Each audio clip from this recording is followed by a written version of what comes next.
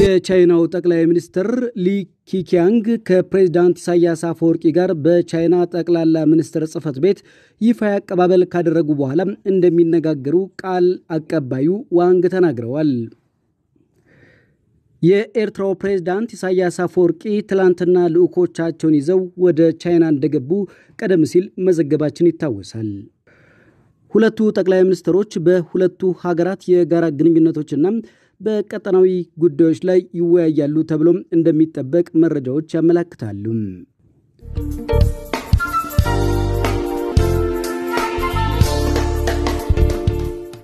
የስፖርት ቀን በጅዳና አካባቢው የሚኖሩ ኤርትራውያን 32ኛ ዓመት የኤርትራ የነፃነት በዓልን እያከበሩ ነው።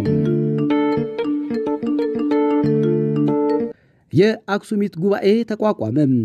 በትግራይ ያለውን ችግር አሁን ባለው ድርጅት ሊፈታ አይችልም ሲሉም የፓርቲው አስተባባሪ ዶክተር ሰለሞን በርናባስ ተናግረዋል። የአክሱማይ ኮንፈረንስ ፓርቲ የፖለቲካ ጉዳዮች አስተባባሪ አቶ አብርሃ ገብረ ወልድ እንዳሉት የትግራይን መጻኢ ዕድል በተሻለ መንገድ እውን ለማድረግ አዲሱ ፓርቲ መመስረቱ አስፈላጊ ነው ብለዋል። የፓርቲው አመራር አባላት ትግራይ ውስጥ ያሉት ሕጎች ትግራይን እያስተዳደሩ ነው እንጂ በሕግ እንድትመራም አይፈቅዱም ብለዋል። የትግራይን የግዛት አንድነት በፕሪቶሪያው ስምምነት መመለስ ካልተቻለም የአፍሪካ ቀንድ የሰላም ምንጭ ሊሆን ይችላል።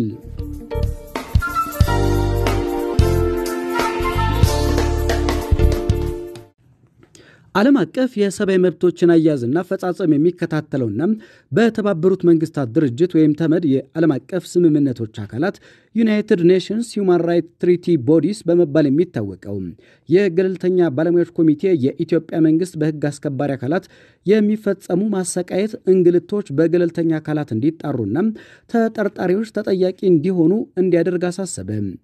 የሰብአዊ መብቶች ምክር ቤት የጸረ ማሰቃየት ኮሚቴ ይህን ያስታወቀው ኢትዮጵያን ጨምሮ በብራዚል፣ ኮሎምቢያ፣ ካዛኪስታን፣ ሉክሰምበርግና ስሎቫኪያ ላይ የሰብአዊ መብቶች ይዞታ የተናጠል ግምገማ ማጠቃለያ ሪፖርት ግንቦት 4 ቀን 2015 ዓ ም በጄኔቫ ስዊዘርላንድ ባደረገው መግለጫ ነው። በመግለጫው ምን አለ? በኢትዮጵያ በፖሊስ መኮንኖች እስር ቤት ጠባቂዎችና ሌሎች ወታደራዊ ጸጥታ ኃይሎች በፖሊስ ጣቢያዎች፣ በማቆያም ማዕከላት፣ በፌዴራል ማረሚያ ቤቶች፣ በወታደራዊ ካምፖችና በግልጽ በማይታወቁ ወይም በሚስጥራዊ እስር ቤቶች ቅሬታ አቅራቢዎች የሚደርስባቸው ስቃይና እንግልት እጅጉን አሳስቦኛል ብለዋል። አሁንም ቢሆን በማረሚያ ቤቶች ውስጥ የሚስተዋሉ ማሰቃየት ወይም እንግልት ቅሬታዎችን ለማስተናገድ የሚያስችል ገለልተኛ ምቹና ሚስጥራዊ ዘዴ ያለመኖሩን ሁናዊ ምርመራ አካላት ሁኔታውን ተፈላጊ ገለልተኝነትን እንደሚጎለው ግንዛቤ መውሰዱን ጠቅሷል። የኢትዮጵያ መንግስት በሕግ አስከባሪ አካላት የሚደርሱ ማሰቃየት፣ ተገቢ ያልሆነ አያያዝና እንግልቶችን በተመለከተ የቀረቡ ቅሬታዎች በገለልተኛ አካላት እንዲጣሩና ተጠርጣሪ ድርጊት ፈጻሚዎች ድርጊቱን እንደፈጸሙ ወይም እንዲፈጸም ያዘዙ በቸልተኛ ሁኔታ የተመለከቱ የስራ ኃላፊዎች ለሕግ ቀርበው እንዲጠየቁና እንዲቀጡ ጠይቋል። መረጃው የሪፖርተር ጋዜጣ ነው።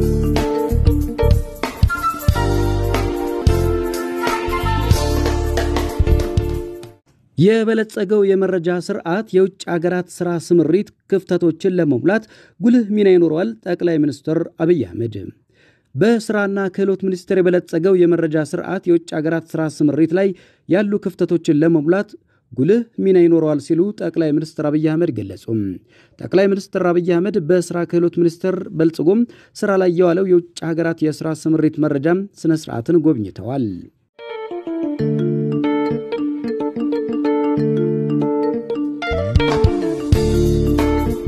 በአዲስ አበባ የመንግሥት መስሪያ ቤቶች የሥራ ሰዓትን ወደ 16 ሰዓት ለማራዘም እየተሰራ ነው ተባለ።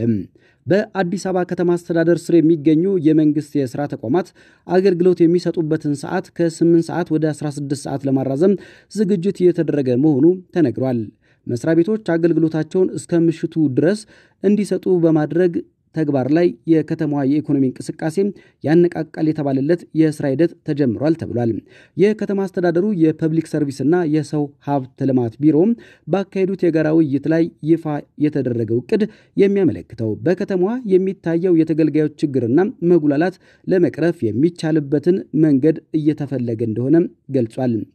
የመንግስት መስሪያ ቤቶች ለተገልጋዮች በሚሰጡት አገልግሎት ላይ ከፍተኛ ቅሬታ እየቀረበ መሆኑን የሚጠቁመው እቅዱ ይህንን ቅሬታ ችግር ለመፍታት አገልግሎቱ ሰዓት ወደ 16 ሰዓት ማራዘም እንደ አንድ መፍትሄ መወሰዱንና ይህን ለመተግበር እየተሰራ መሆኑን ለማወቅ ተችሏል። በዚሁ የመንግስትን ስራ ወደ 16 ሰዓት ለማራዘም በተያዘው እቅድ ሰራተኞች በፈረቃ የሚሰሩበት ሁኔታ ሊመቻች እንደሚችልና አሰራሩ የአዲስ አበባ ከተማ አስተዳደር የመንግስት ሰራተኞችን አዋጅ የማይጥስ እንደሚሆንም ተነግሯል። የከተማ አስተዳደር የመስሪያ ቤቶችን አገልግሎት ሰዓት የማራዘም ፈቃዱን ተግባራዊ ለማድረግ ጥናት እያካሄደ መሆኑንና በመጪው በጀት ዓመት ተግባራዊ ለማድረግ ዝግጅት እየተደረገ መሆኑም ተጠቅሷል።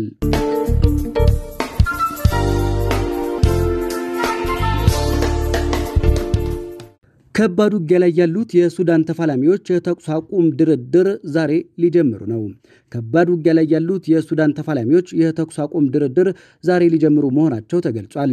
ዛሬ መልሶ ይጀመራል ተብሎ ከሚጠበቀው የተኩስ አቁም ንግግር ቀደም ብሎ በዋና ከተማዋ ካርቱምና በሌሎች ከተሞች ከባድ ውጊያ መቀጠላቸው ተገልጿል።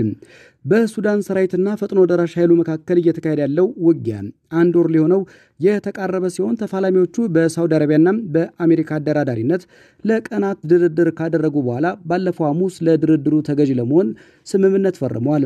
በዛሬው ዕለት ደግሞም የተኩስ አቁም ስምምነት ላይ ለመድረስ በሳውዲ አረቢያም የወደብ ከተማ ጂዳ ውስጥ ንግግራቸውን መልሰው መጀመራቸው ተነግሯል። ባለፈው ሳምንት በተካሄደው ድርድር ሁለቱ ተቀናቃኝ ኃይሎች ሰላማዊ ሰዎችና የሰብአዊ እርዳታ አቅርቦቶች ጥቃት እንዳይፈጸምባቸው ጥበቃ ለማድረግ ቢስማሙም ተኩስ አቁም ላይ ግን መድረስ ሳይችሉ መቅረታቸውን ቢቢሲ ዘግቧል። አንድ አሜሪካዊ ዲፕሎማት ድርድሩ እጅግ አስቸጋሪና ሁለቱ ወገኖች ለመስማማት ከሚያስችል መቀራረብ ላይ አለመድረሳቸውንና የተራራቀ አቋም መያዛቸውን ገልጸዋል። የዛሬው ድርድር ዋነኛ አጀንዳ ተፋላሚዎቹ ተኩስ አቁመው ለዘላቂ ሰላም የሚሆን ንግግር እንዲደረግ መንገድ መክፈት ነው ብለዋል።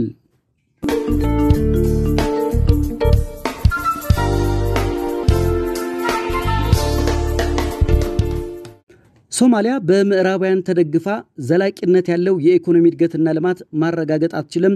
የሀገሪቱ መሪ ሶማሊያ በምዕራባውያን ተደግፋ ዘላቂነት ያለው የኢኮኖሚ እድገትና ልማት ማረጋገጥ አትችልም ሲሉ የሶማሊያ ፕሬዚዳንት ሐሰን ሼክ መሐመድ ተናገሩ።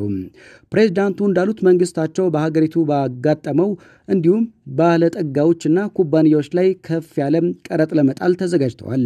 ሶማሊያ ከፍተኛ ዕዳ ጫና እንዳለባት አስታውሰውም ከእንግዲህ የእንግሊዝ ፈገግታ የአሜሪካን ይሁንታ አሊያም የአረብ ባህረ ሰላጤ ሀገራትን ችሮታ እንደወትሮ ልናገኝ አንችልም ነው ያሉት።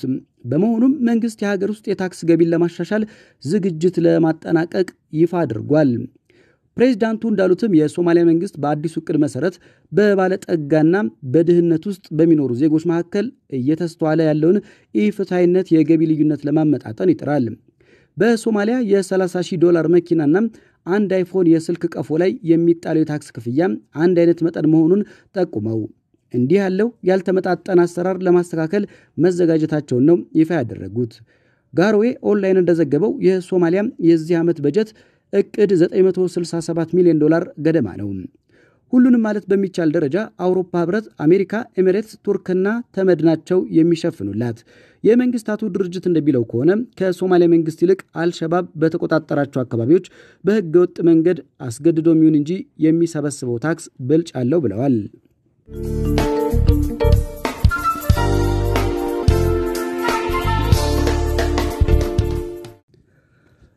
እስራኤል ጋዛን ደበደበች። ጠቅላይ ሚኒስትር ኔታንያሁ እንዳሉት እስራኤል በጋዛ የሚገኘው የእስልምና ጂሃድ ላይ ያነጣጠረ ድብደባ ማድረጋቸውን ገልጸዋል።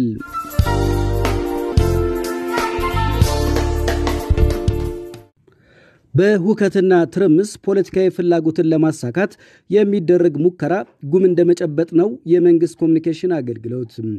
በሁከትና ትርምስ ፖለቲካዊ ፍላጎትን ለማሳካት የሚደረግ ሙከራም ጉም እንደመጨበጥ ነው ሲል የመንግስት ኮሚኒኬሽን አገልግሎት አስታወቀ። አገልግሎቱ በወቅታዊ ጉዳዮች ላይ ዛሬ መግለጫ አውጥቷል። ጉልበትና ትርምስ ከእንግዲህ ወዲህ ለስልጣን እንደማያበቁና ጠመንጃ የመንግስት ስልጣን ምንጭ የሚሆንበት ምዕራፍ መዘጋቱን መግለጫው አሳውቋል።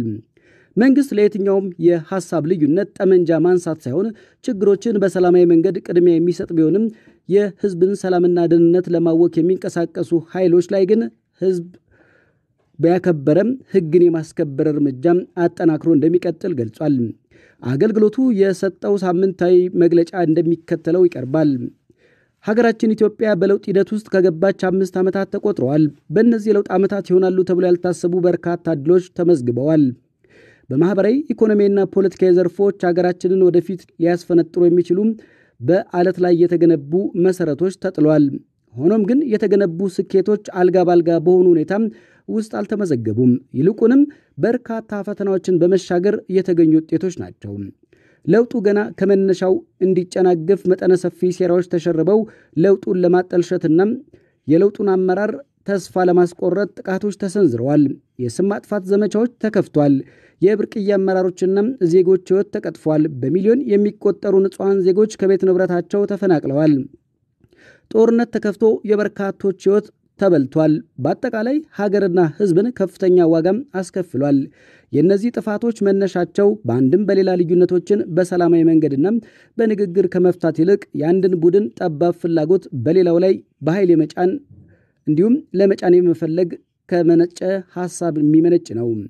የኢትዮጵያ ሕዝብ ሀገራችን በአይነቱና በዲሞክራሲያዊነቱ ልዩ በሆነው ምርጫም ይሆነኛል ያለውን ፓርቲ በመምረጥ ህገ መንግስታዊና ዲሞክራሲያዊ መንግስት እንዲመሰረት አድርጓል። በመሆኑም ጉልበትና ትርምስ ከእንግዲህ ወዲህ ለስልጣን እንደማያበቁና ጠመንጃ የመንግስት ስልጣን ምንጭ የሚሆንበት ምዕራፍ እንዲዘጋ ሆኗል። ሆኖም ግን ኢትዮጵያ ሰላማዊ የስልጣን ሽግግር ልምምድ ሂደት ውስጥ በመግባቷ በሐሳብ ብልጫና በምርጫ ለማሸነፍ ያልቻሉና ተስፋ የቆረጡ ቡድኖች በብሔርና በሰፈር ማንነት እየማሉ ጽንፈኛ አስተሳሰብን በማቀንቀን መንግስት በኃይል ለማንበርከክ ያልቆፈሩት ጉድጓድና ያልተጓደኙት ኃይል የለም። በተለያዩ የሀገራችን አካባቢዎች በጽንፈኝነት አስተሳሰብ የተደራጁ ቡድኖች የህዝብን ሰላምና ደህንነት አደጋ ላይ ለመጣል ተንቀሳቅሰዋል።